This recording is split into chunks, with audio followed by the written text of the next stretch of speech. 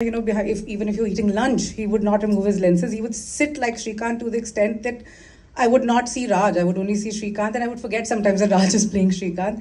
Till the time he removed his lenses, he was Srikanth. He didn't change his. He didn't become Raj at any. He was so honest to his performance. It was just a. It, it was a pleasure watching him perform. We had a fabulous team. Tushar, I think, like Shri, the real Shri, put it very, very uh, eloquently that he's. Uh, I don't think there's any more uh, any person who's more persistent and resilient than Tushar.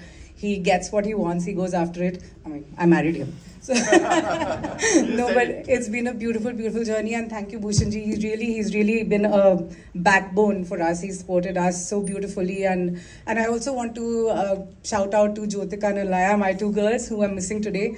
They are such an important part of this film. They bring the soul and heart of this film, and they are missed today. And uh, but they'll be with us soon, and it's just been incredible. We've met incredible people. It's become a family, and the journey has been long and hard.